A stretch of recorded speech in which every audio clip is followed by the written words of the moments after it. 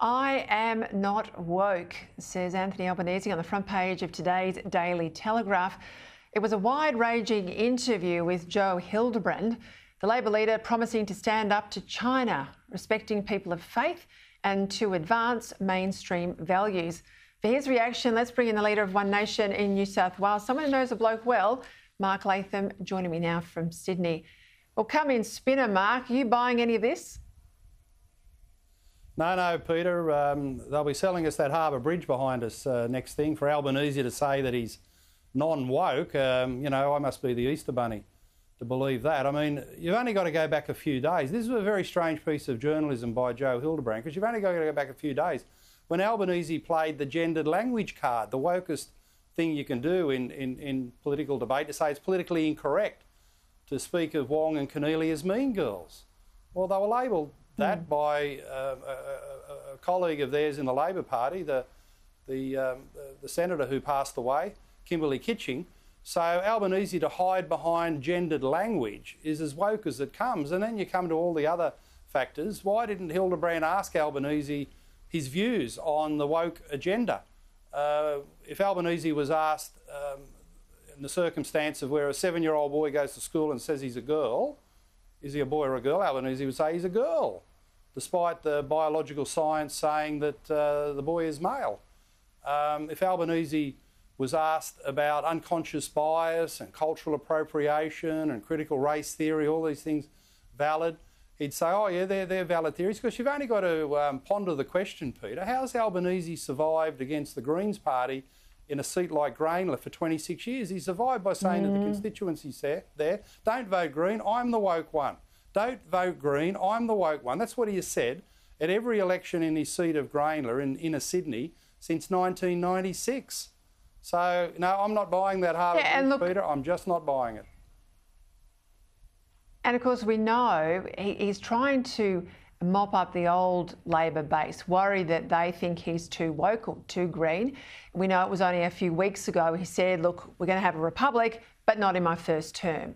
Uh, he's put that out there that he's very supportive of uh, uh, the Makarrata agreement. He wants a treaty with Aboriginal Australians. All of that's there, but he's just trying not to scare the horses by saying it's on the sort of further agenda. It's my second term, God help us, or my third term. But these issues haven't gone away. They're still on the Labor Party platform, aren't they?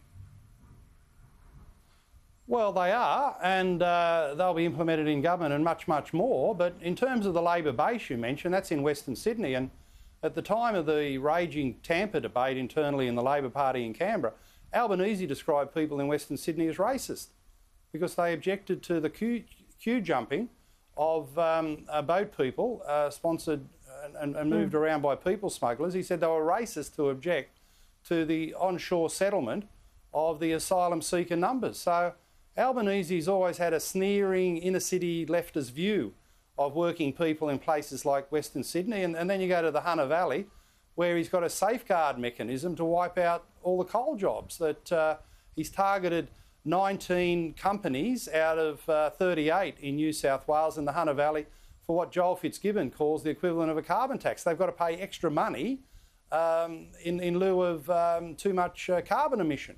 So if you're wiping out mm. working class jobs in places like Muswellbrook and Singleton in the Hunter Valley, and you're sneering at people in Western Sydney as racist, well, that's as woke as it comes. And you've only got to study his record to know that front page of the Telegraph uh, today was written by some kind of strange press secretary in Joe Hildebrand instead of a real journalist.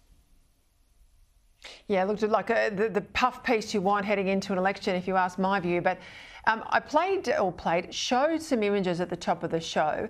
Um, campaign posters for Kristina Keneally out in the seat of Fowler. This is the seat she's been parachuted into.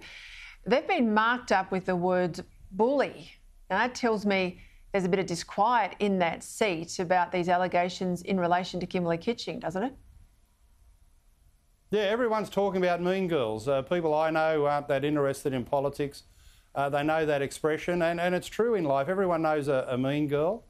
Uh, everyone um, knows a woman in particular who's been badly treated by a mean girl, and that sums Keneally up to a, a T.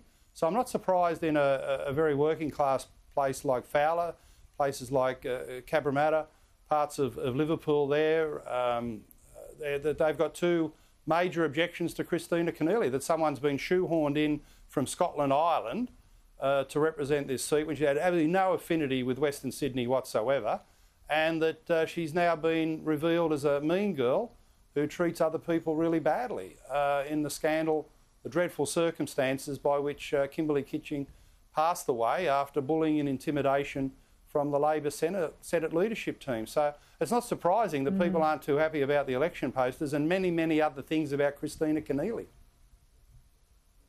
Well, we'll see what happens. There could be a high profile independent, as I mused about the other day, that could emerge, and that will absolutely take the fight up to her. Mark Latham, thank you as always.